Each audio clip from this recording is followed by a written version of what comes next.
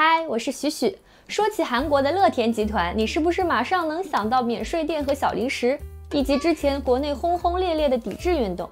其实啊，这个财阀家族的狗血事件也不少，什么兄弟反目啊，父子交恶，还有经典韩剧里豪门家族离不开的风花雪月。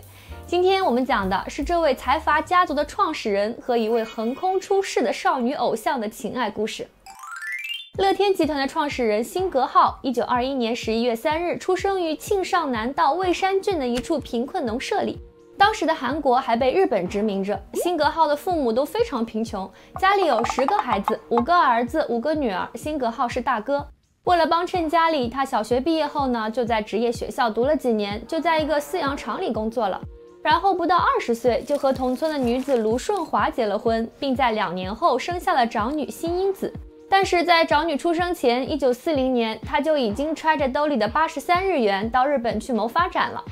到日本后，他租了一个房间，白天当送奶工，晚上在早稻田工业夜校读书，学习化学类的课程。当时他的老板花光先生被他的努力好学打动，借给他五万日元，他开了家生产工业润滑油和电饭锅的工厂。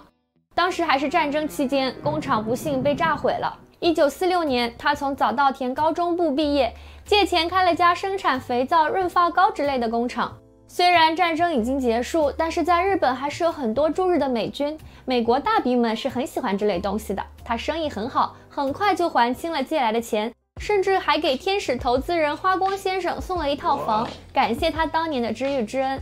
之后呢，他又瞄准了口香糖的生意，设立了特殊化学研究所，开发出了新口味的口香糖。新式口香糖一推出就爆火，糖果店老板一大早就要在他的工厂门口排长队购买。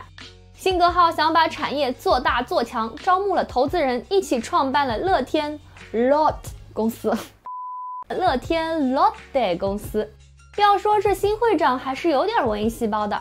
乐天这个词是他早期读的小说《少年维特之烦恼》里的女主角绿地 Charlotte 的后半部分 Lotte 命名的。此后，乐天公司在日本建立了糕点、房地产投资等大大小小的子公司。这期间，第一任妻子卢顺华去世了，辛格浩一个叫重光出子的日本女人结了婚。这位重光出子在日本家世显赫，他的舅舅重光葵是日本二战甲级战犯，战后被多方求情，免受牢狱之灾，甚至还当上了外务大臣。韩国小子辛格浩能在日本展开事业版图。这里面女方家的势力肯定为他扫清了不少障碍，起着推波助澜的作用。辛格浩甚至为自己起了个日本名重光武雄，然后和重光出子生了两个儿子，大儿子新东主，小儿子新东兵。这两个儿子啊，在后来的经营权争夺上也是闹得不可开交。我们按下不表。一九六五年，日韩建交，六六年朴正熙总统上任。已经在日本建好根基的辛格号，在朴正熙的邀请下，正式回到韩国开展事业。先从铝材、糕点、饮料这些熟悉的业务开始，之后又有了酒店、百货公司，生意那是越做越大，一下子就冲到了韩国财阀排行的前五名，总资产达一百万亿韩元。辛格号呢，也登上了当年世界第四的财富榜。当然啦，事业能扩张到这么大，靠他一个人单打独斗啊，是不太现实的。他那在老家的几个兄弟姐妹也是帮了很大的忙，但是后来事业是做大了，钱是有了，但这兄妹几个没能逃脱兄弟反目的财阀桥段，咱这里呢也不展开讲了，让我们把目光转向当时的娱乐圈。这时的娱乐圈出现了一位美少女，引领着全韩国的潮流，只要是她换过的发型、化过的妆容、用过的单品、有过的搭配，都被万千少女竞相模仿。这位美少女就是二十二岁的徐美静。徐美静出生于一九五九年，因为长相可爱，她从小就活跃在荧幕上，还在电台担任儿童合唱团的工作。一九七二年，十四岁的她在第一届乐天小姐大赛中获奖，拍摄了乐天糖果的广告，并以艺名徐生熙出道，很快就一炮而红。在整个七十年代中期，拍摄了很多电影，并在一九七七年获得 TBC 年度最佳新人奖。徐美静五官优越，气质突出，即使以现在的审美看啊，这样的装扮也是十分时髦的。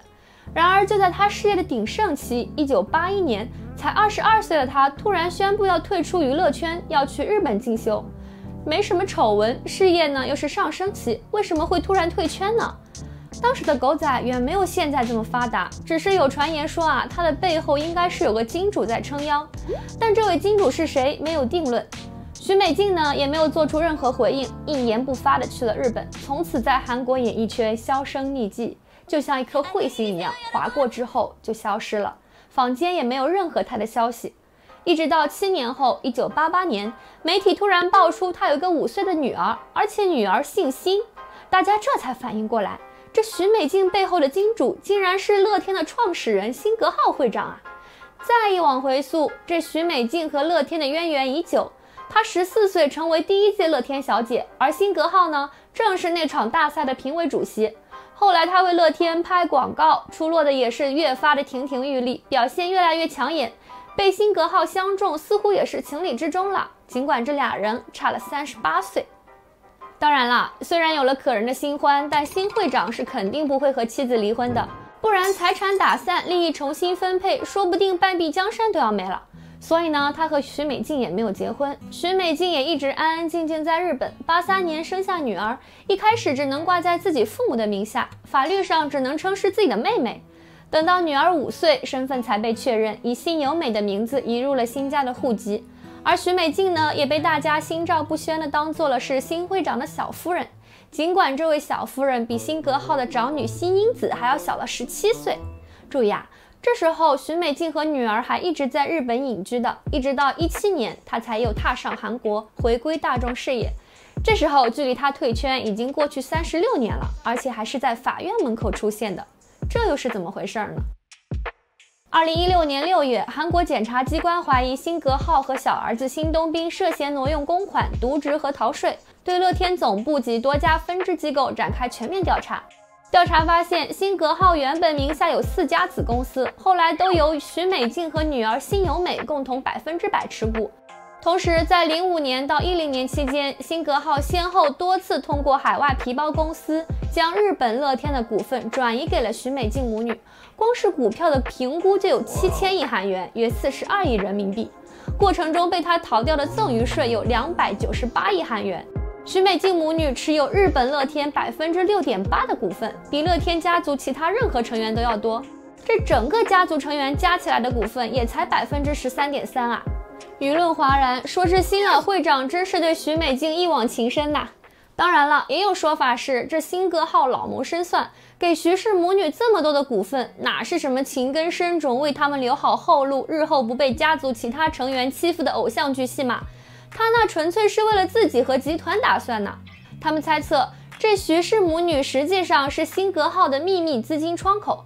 辛格浩明面上是转移股份和房产到他俩名下，实际上呢是在挪用公款和逃税。家族里所有人，只有徐美静母女没有在集团担任核心职位，常年在日本隐居，低调就是他们最好的掩护了。二零一七年三月二十日，韩国首尔中央地方法院针对乐天的第一场听证会开庭，出庭的除了辛格浩和子女三人，还有重新出现的徐美静。车子刚到法院门口，媒体的长枪短炮就迎了上去，对这位久别重逢、消失了三十六年的昔日女星，媒体们当然是充满了兴趣。听证会上，乐天的现任会长辛东彬和家人否认挪用公款、逃税等罪名，试图把所有的指控都转移到已经九十四岁的父亲辛格浩身上。血浓于水的家人在利益面前互相撕扯，真是十分狗血了。说到这里，让人不免怀疑，这种为了利益兄弟相残、家族内斗的秉性，是不是真的是会遗传的呀？当年辛格浩和自己的兄弟姐妹斗。后来，他的两个儿子为了话事人地位斗得你死我活，现在闹到法庭上，成了儿子要斗他，真是要感慨一句：父母真的要为孩子做好榜样啊！半年后，十月三十日，就辛格浩给徐美静转移股份一案，法院判处辛格浩有期徒刑三年，罚金三十亿韩元。但因为他年事已高，因为身体原因就被保释了。徐美静呢，被判无罪。二零二零年一月十九日，辛格浩因病去世。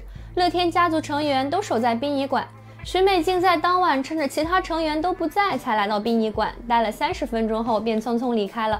墙上的家属名单里也只有女儿辛由美，没有徐美静的名字。